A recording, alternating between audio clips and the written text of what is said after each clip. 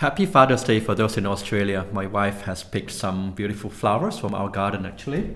Um, there's some rosemaries and such, so yeah, it's lovely.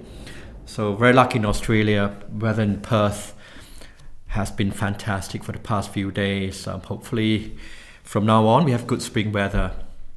Right. I'm Joo Teoh, specialist in fertility, gynecology, and pregnancy care. I had a patient that came to see me during their early in their pregnancy. So she said from the last period she was about eight weeks. So I performed an ultrasound scan and confirmed, yep, she was eight weeks pregnant. And then the partner um, responded, look, hang on, um, she can't be eight weeks pregnant. She ovulated two weeks after her last period.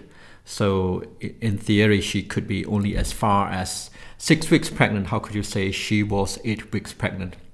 Um, he was right. Um, he's right a now we basically pregnancy actually won't happen until you ovulate, right?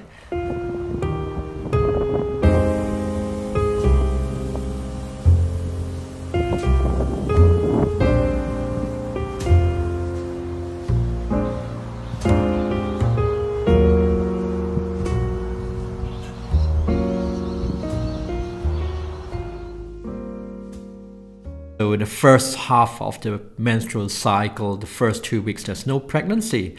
Pregnancy can only start theoretically or practically even after ovulation.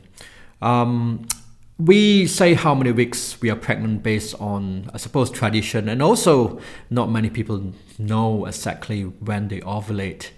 Um, so, you know, usually you say, look, when was your last period? And then we calculate from the very last first day of the very last period. That's traditionally how we start calculating a pregnancy.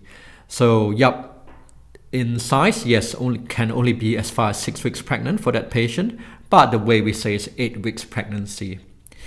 And um, not everybody knows when they ovulate. Some of my patients know exactly when the ovulation occurs. Um, or sometimes we might get it wrong a, sometimes some women's uh, menstrual period are not regular. Sometimes um, the period menstrual period can be uh, the menstrual cycle can be longer. So, for example, someone um, having um, menstrual cycle of 35 days, then usually ovulation will not happen at day 14. That is why for natural pregnancy, apart from tracking, you know, someone has gone to fertility center or GP or specialist tracking the cycle, if we know exactly when ovulation happens, that is okay. Um, for many people, what we need is um, an ultrasound scan. For most people, actually, unless you do IVF, it's best to have an ultrasound scan to confirm confirm the gestational age or how far we are pregnant. A, the best time to do ultrasound scan, I would say, is about 8 weeks to about 14 weeks within that period of time. The reason, a, if its pregnancy is too early, for example, 6 7 weeks, it's a bit too small, it's very hard to measure accurately how far on we are. So from 8 weeks pregnancy, the, you know, the fetus, fetal pole, is a bit bigger and uh, basically babies a bit bigger then can measure from that from you know we call crown crown rump length crown rump sorry it's hard to pronounce crown rump length. Here we go. Um, and um, CRL is a, is a short form for it so from 8 to 14 weeks. Why?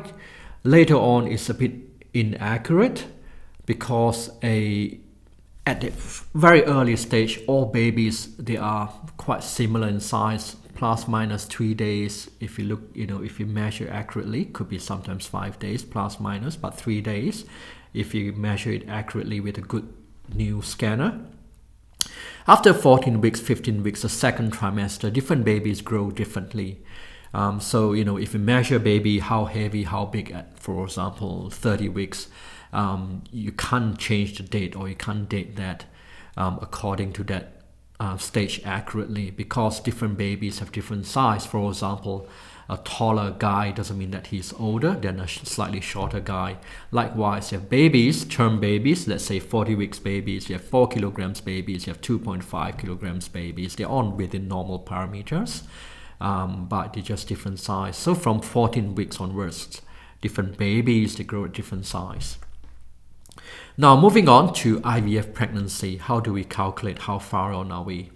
So for fresh embryos, if you have fresh um, egg collection and you transfer the fresh embryos in, the day of ovulation is day of egg collection essentially. So for example, if you know someone's um, pregnant and uh, egg collection was 10 weeks ago, so actually she's 12 weeks pregnant. Yeah, egg, collect- egg collection is a bit like ovulation, you plus two weeks to plus the you know to the last menstrual period in a way, and um, so 10 weeks last egg collection, she's 12 weeks pregnant. How about frozen embryo transfer? Now, frozen embryo transfer, if you're really precise, you want to know how um, old is that embryo. For example, if the embryo is frozen on day 5 and thaw out on day 5 and transfer back on day 5, that embryo is 5 days old. So the way I would calculate is 2 weeks plus 5 days um, to you know to go back to the last menstrual period to know how far we are. For example, if we have a day five embryo transferred eight weeks ago for this patient, um, and this patient the ovulation time will be eight weeks and five days because it was a five, um, day five embryos. And um, how far on are we in pregnancy? Plus another two weeks.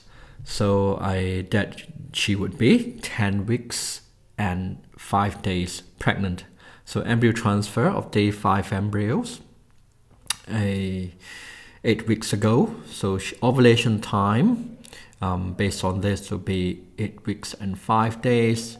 How far on we are? We are 10 weeks and 5 days. Now some center do day 3 frozen embryo transfer as well.